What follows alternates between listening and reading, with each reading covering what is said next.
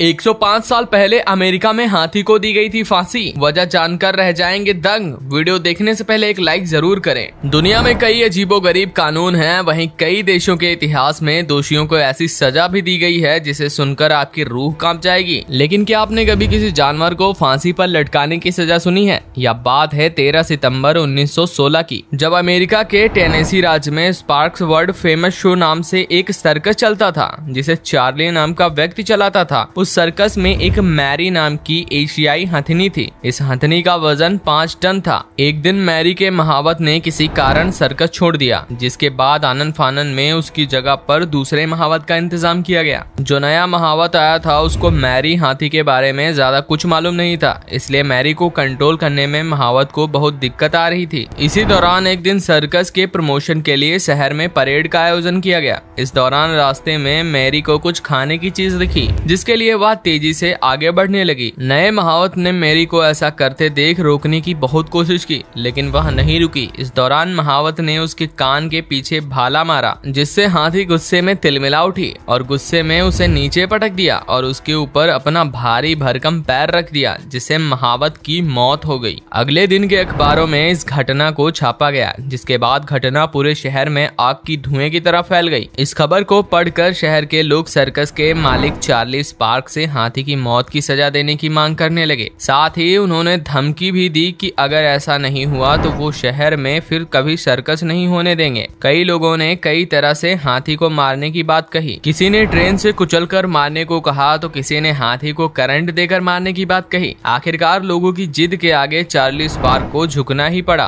और उन्होंने हाथी को मृत्युदंड देने का फैसला लिया। इसके लिए उन्होंने 100 टन का वज़न उठाने वाली क्रेन को मंगवाया और 13 सितंबर 1916 को क्रेन की मदद से हाथी को हज़ारों लोगों के बीच फांसी पर लटका दिया गया। दोस्तों, आपका क्या कहना है इस घटना के बारे में हमें कमेंट में ज़रूर बताएँ और वीडियो को लाइक करना ना भूले। साथ ही वीडियो को ज़्यादा से ज़्यादा फेसबुक और व्हाट्सएप के ज़रिए शेयर करें और साथ ही हमारे चैनल न्यू टॉल को सब्सक्राइब करना बिल्कुल ना भूलें।